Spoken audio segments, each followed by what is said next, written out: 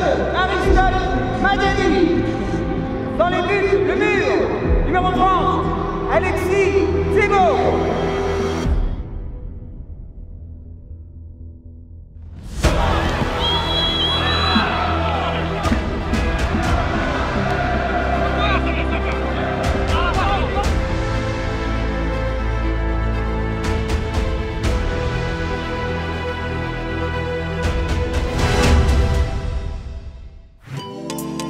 Les ambitions du club, pour l'instant, elles n'ont pas, changé. C'est remonter en Ligue 2 le, plus rapidement possible. On n'a pas fait le, départ idéal. Après, il faut aussi un peu de temps, euh, le temps que, les choses se mettent en place.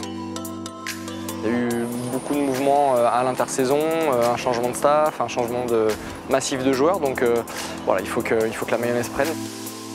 C'est sûr que hum, d'avoir un deuxième grand club à Paris, c'est compliqué. Jouer à Charletti euh, dans un- une très belle enceinte, mais, presque vide. On a l'impression de jouer un peu sur un terrain neutre, même si on a, quelques petits groupes de supporters euh, qui, font un peu de, bruit. C'est vrai que ça reste assez léger pour, euh, bah, pour, le, soutien. Après, on est à Paris aussi, il y a, un choix multiple de sports, le euh, le hand, et puis il y a surtout le, PSG qui rassemble beaucoup de gens.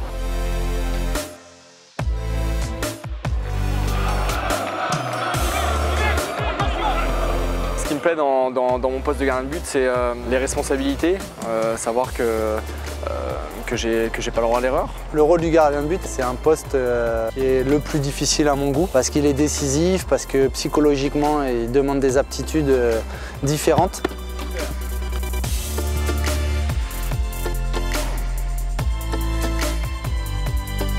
Parfois, on parle de solitude du- de l'attaquant aussi ou du buteur, mais un buteur, à un moment donné, s'il remarque, on oubliera le reste. Un gardien, on n'oublie pas tout ce qui vient de se passer. C'est un poste ingrat parce qu'on s'entraîne beaucoup pour, euh, pour au final euh, euh, peut-être faire un ou deux arrêts. Si on touche, allez, dans un match, si on touche une trentaine de ballons, c'est quand même pas mal.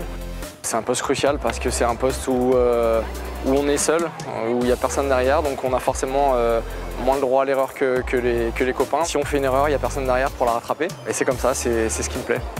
C'est celui euh, qui permet de ne pas prendre de but ou qui d'en prendre le moins possible. Après, rôle du héros, tous les résumés de match, on monte les buts. Donc on, on a toujours cet aspect négatif autour du gardien de but. Pour moi, un match accompli, un match réussi, c'est un match où, euh, je, je réussis euh, tous mes gestes techniques euh, parfaitement, où, euh, je suis décisif pour mon, équipe euh, et où je guide bien mes partenaires et où on prend pas de but. Ça, c'est le match parfait.